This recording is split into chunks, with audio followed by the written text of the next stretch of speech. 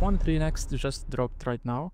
The new AI model from Qwen Family. Hey, I am Mo, and here we test new AI models, different complex tasks to see their true capabilities. Let's start testing. This is an 18 billion parameter, which is impressive to see in an open source space. Interestingly, it's only activate 3 billion parameters, making it a mixture of expert model. Let's start testing this model. The first prompt we have, we will ask the model to create a web-based operating system. I will put the model in thinking mode with maximum thinking length and we will see what it will generate. As you see here, this is a quite long generation. It's about 1400 lines of code.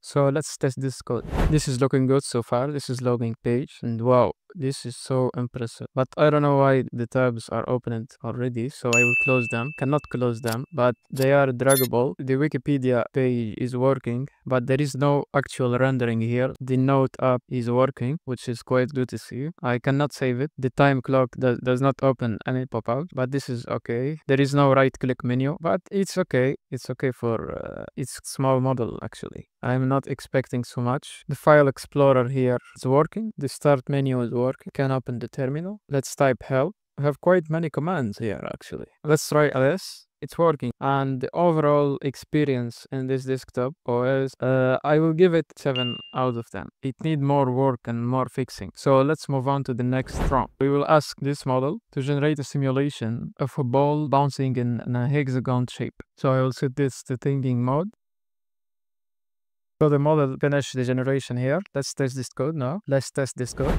Okay, now we have generation. But there is no gravity, which is an issue. So I will describe the issue. Uh, this is a quite impressive generation. Uh, here we have a collision uh, issue, but at least we get a working uh, generation right here, which is quite fascinating to see.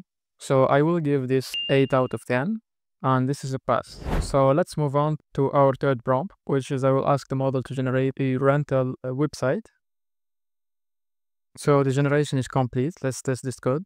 So this is how the website looks like. I think it's quite good, but the light mode is not that impressive. The dark mode is look fantastic. There is hover effect, which is so nice to see. And overall, uh, the quality is uh, great. So I will give this 6 out of 10. And for me, it's a decent generation. So let's move on to the fourth prompt. We'll ask here the model to generate a 3D black hole simulation. So I will enable thinking mode as always. Let's test it and see. So this is, looks quite good, but I don't think this is a black hole.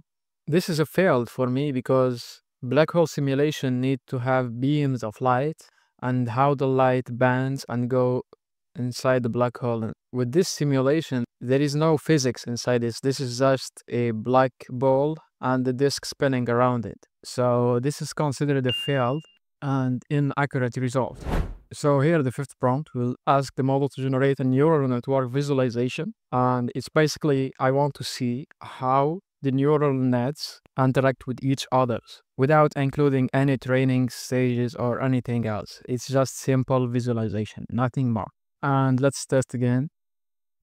So as we see here, the design is quite impressive and the visualization actually work. But what missing here is the data flow between the node. And I think this is a quite complex task for this model to handle. So I will give the pass because generating the nodes, the connection between them is quite impressive to see. So I will give this generation a 6 out of 10. But if he add the data flow interaction, I will give this easily 8 out of 10 because this is very complex task.